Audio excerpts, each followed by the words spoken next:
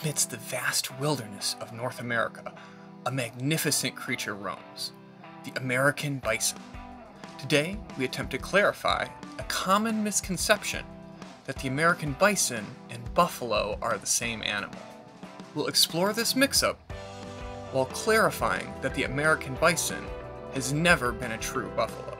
The term buffalo has a rather intriguing history in the English language. Back in Shakespeare's time, military individuals often sported a protective coat known as a buff coat. These coats, crafted from undyed leather, were surprisingly thick and soft. When the English set foot in the New World, any animal yielding similar leather got the tag buff. As time marched on, other North American critters got their own unique names, leaving the largest of the bunch, the American buffalo, with the exclusive claim to the title. Now, here's the catch with the term buffalo it's been used before. It was applied to the water buffalo in Asia and the Cape buffalo in Africa. Taxonomists, the folks in charge of classifying and naming organisms, saw this as a problem, especially considering that the American buffalo isn't closely related to these animals at all. To solve this naming dilemma, they proposed the term bison, already in use in the Latin name of a related European animal, the wisent, or Bison bonasus. Despite these efforts to bring clarity, we now find ourselves in a situation where this magnificent creature has two usable names. It's kind of like how a mountain lion, a puma, and a cougar are all considered the same animal. So it's no surprise that many discussions about our four legged friends often kick off with the question what sets a buffalo apart from bison? To clarify this confusion, let's begin with geography. The American bison, as suggested by its name, resides in North America, primarily the United States and Canada. While Europe also has its own distinct species of bison, they are all but extinct. Similarly, the American bison faced near extinction during the late 19th century's Great Slaughter. Fortunately, a few small herds managed to evade this fate by seeking refuge deep within the interior of Yellowstone Park.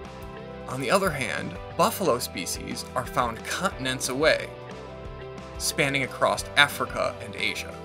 This geographical separation lays the groundwork for these potential misunderstandings. Let's zoom in on their physical characteristics. American bison sport short, curved horns, where buffalo often exhibit long, sweeping horns that gracefully arch backwards.